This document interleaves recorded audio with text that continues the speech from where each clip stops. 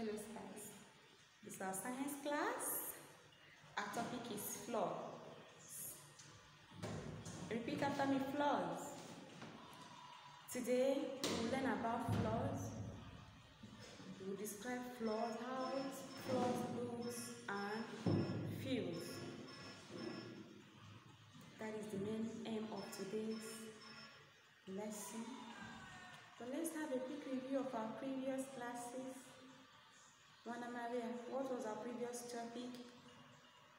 Uses of metals depending on its property. Johan, can you give us some of the metals? Gold, Miguel, aluminium, Constancia, steel, Pedro, copper, Aisha, steel, Adela, silver. Nicholas, can you name one more metals you know? Gold. So what do we use gold to produce? Jewelries, okay. Anacleto, why do we use um, gold to make jewelries? Because it is bright and shiny, okay, and easy to bend and shape, okay. So what do we use to produce pots and pans? Anacleto, aluminium. So why do we use aluminium to produce pots and pans? Ms. Wislan, please can you respond to that? Because they are strong and light, easy to shape and bend. What do we use to build steel? So why do we use steel to build Christina? Because they are strong. Okay. What is another reason, Ignacio? They are hard wearing.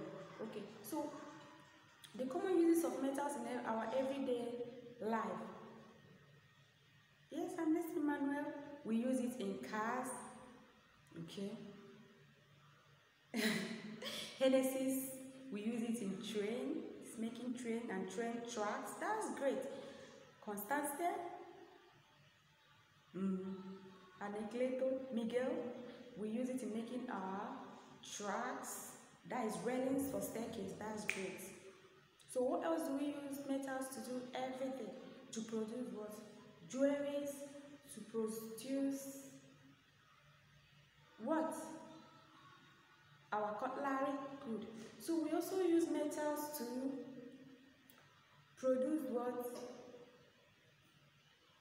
Our tables and chairs also. So let's go straight to our class today, floors. We said that floors can be shiny. Look around you. Let me just give you a few seconds. Look around you. How is your floor like? Shiny. Good. Floors can be what? Slippery. Floors can be smooth. Floors can be what? Grippy. These are the different way what floors look. I need to take it again. Floors can be what? Shiny. Floors can be grippy. Floors can be smooth. Floors can be what? Slippery. And at the same time, floors can be grippy. So, what is shiny? Shiny describes how a floor looks. When we are talking about shiny, we say what is a bright, reflective surface. I take it again. Shiny describes how a floor looks. And what is shiny? Shiny is a bright, reflective surface.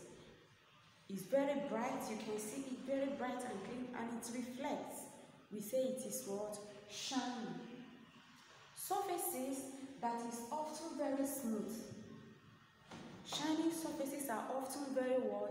Smooth. Shiny floors can be very slippery. They can be very what?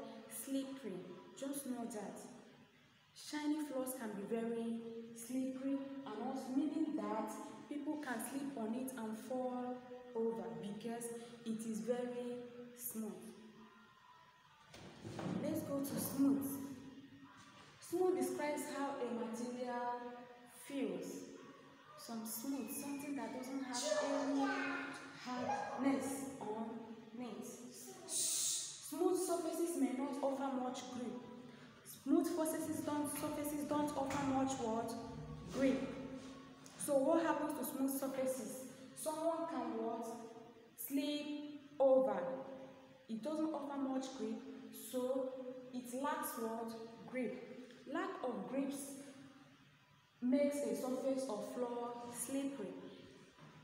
Any floor or surface that cannot hold you, it makes it very what? Slippery. That means somebody can easily what? Fall over. Examples of surfaces we can slip on are kitchen, floors, toilet or bathroom, bathroom, and swimming pools. These are the different surfaces that we can what? For sleep on. Why? Because they are smooth surfaces and they lack grip. Thank you.